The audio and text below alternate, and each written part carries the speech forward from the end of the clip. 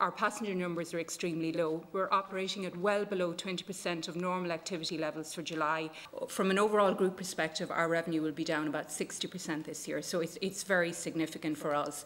Um, we have the, we've eaten into the cash reserves in the airport the pandemic has been devastating for our business. We have uh, virtually little or no traffic coming through the airport until the end of June. We saw a slight pickup in July, but we're still um, 88% below the levels that we would normally be operating at from a passenger perspective. So it has wiped out not only aeronautical revenues, but also the commercial revenues, because we're dependent on air passengers coming through our terminal to generate commercial activity and generate revenue for the airport. We welcome the government's July stimulus package, in particular the extension of the wage support scheme, and we're reviewing the measures therein to see how they can support our business. We have sought subvention to cover the operating losses through the winter and into next summer.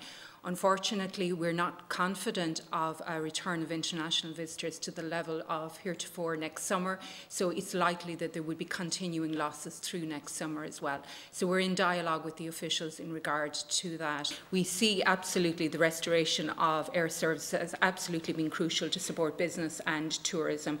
And in that regard, we would have made a submission that there would be supports put in place to restore those key services. Um, similarly, we have sought capital funding for the airport because it's an airport under 3 million passengers and in line with EU state aid guidelines, we would be entitled to exchequer funding for safety and regulatory capital. That's a significant cost burden on the airport today, pre the pandemic, but obviously now where we are, um, the airport is not in a position to, to sustain that level of capital going forward and we have sought uh, support in that regard.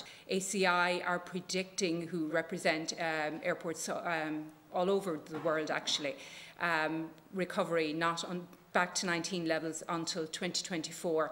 And indeed, CAPA announced some research uh, lately that has uh, predicting that airport revenue levels will not return for five to 10 years back to the, the pre-COVID levels. So we're looking at a reduced level of activity in Shannon Airport for the, the near and medium term. And consequently, we will have to implement measures to reduce pay um, as we work through that recovery period. We have proposed a number of measures similar to other airports to reduce our payroll costs as we work through the recovery of this, including career breaks, reduced working hours, um, a temporary reduction in pay while we work through the period of recovery and a voluntary severance scheme.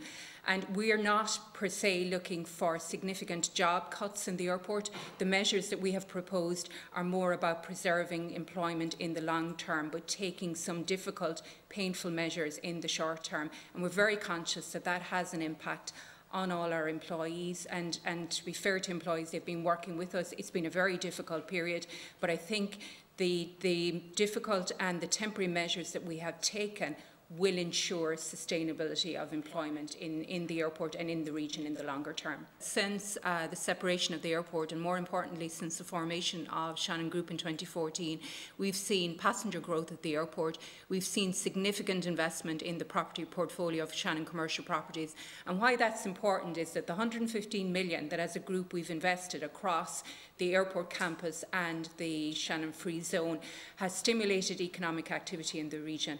We've grown the cluster of aviation companies from 40 at the time to well over 80 today, with 14 new companies uh, joined the aviation cluster last year.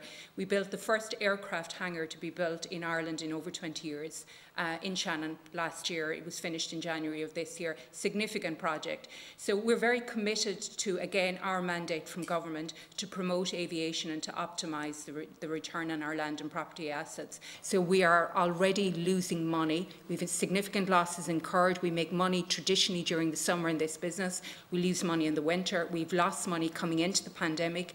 We've incurred substantial losses okay, okay, pandemic back in there. and we're looking at it into the winter period. And we're subventing significant losses in the Shannon Heritage business and therefore we would not be in a position to continue that through the winter period. And we've had to take difficult decisions to um, temporarily close, not open some of our sites this year and temporarily close others at the end of the peak season because of the level of losses we're incurring. Uh, despite extensive marketing and a number of initiatives and getting national coverage on, on the opening of both uh, Bunratty Castle and Folk Park and King John's Castle in Limerick, the numbers have not picked up to any huge degree. We're still down over 70% in visitor numbers and revenue in Bunratty Castle and Folk Park, and we're down 86% in King John's Castle. And what's really disappointing in relation to King John's Castle is that the domestic market has actually fallen on last year, so we're down about 40% on where the domestic market would have been. You, you've repeatedly told us that most of the sites rely um, for uh, business on, on international tourism. Last year, the figures that I've seen, last year Bunratty Castle had 39% uh, of the visitors were Irish only, uh, King John's Castle 26%. Um, yet Craggaunowen was 79% of the visitors were Irish, the GPO was 34%, and Malahide Castle was, was at about 35%. So Craggaunowen has twice as many Irish visitors as the rest, and it's the only site that was never opened. Could you explain that, please? Craggaunowen is, um, works from a very low visitor base. We had about 15,000 visitors there last year. You're correct, it's predominantly a domestic market uh, because of its location. But again, it would have been reliant on particularly, it's open from June through to mid-September, uh, would be very heavily reliant on um, school tours for the June period. Obviously, we weren't open in June of this year. Um, and looking at that business, Craggaunowen would lose money in any event, um, but because overall the portfolio of sites we were able to support that business uh, prior to the pandemic. We're obviously losing money right across the business now because of the collapse in our revenues. And consequently, we made the decision to open our key sites um, to make sure that we had a site available in County Clare, Bunratty Castle and Folk Park, with 26 acres of land available for the domestic market while the schools are, are on holiday. and again, King John's Castle in Limerick. I, I would suggest to you that there are a lot of parents looking for some place to bring their children uh, right across the Midwest. Uh, to bring them for a day or an hour um, because they were unexpectedly under their feet since, since, since March.